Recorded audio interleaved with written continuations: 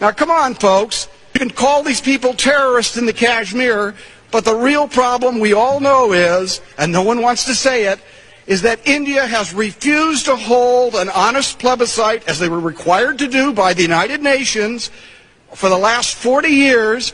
And if the people of Kashmir had a right to vote on their own destiny, they would probably vote not to be part of India, and there would be no conflict. There would be no people killing other people. There would be no excuse for a million Indian soldiers to be stationed up in northern India to, to repress those people who want nothing more than a right to vote as to whether they be a part of India or not, which is what the United Nations required them to do. India has been condemned by Amnesty International, by Asia Watch, by people, by honest people who are looking and trying to uh, support human rights around the world. They've been condemned over and over and over again.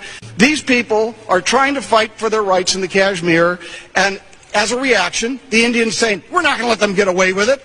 So, so, so they are condoning monstrous human rights abuses against the people of Kashmir. It can be stopped very easy. Let those people in the Kashmir determine their own destiny through the ballot box rather than through bullets. That's the bottom line. And if we do that, if we insist on that, if we send that message tonight with this little tiny cut of $8 million, I will tell you this much. The tensions on the subcontinent will subside we will have done what is right, and in the long run, it will create a more peaceful world because the people of the Kashmir will have their right to vote, and there will be no excuse for the violence that, that exists there today. So I please, and I plead with all of you, Come on, let's get beyond all of this rhetoric. Let's not talk about India as our old friend. Let's not create some false images of how we have to do it. We must stand for human rights there and elsewhere because it furthers the cause of peace to do so. Let's send that message to India.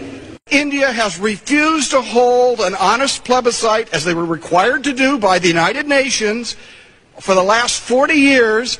And if the people of Kashmir had a right to vote on their own destiny, they would probably vote not to be part of India, and there would be no conflict. There would be no people killing other people. There would be no excuse for a million Indian soldiers to be stationed up in northern India to, to repress those people who want nothing more than a right to vote as to whether they be a part of India or not, which is what the United Nations required them to do.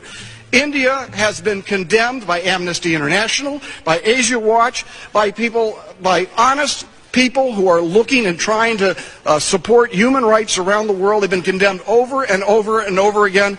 We must stand for human rights there and elsewhere because it furthers the cause of peace to do so. Let's send that message to India.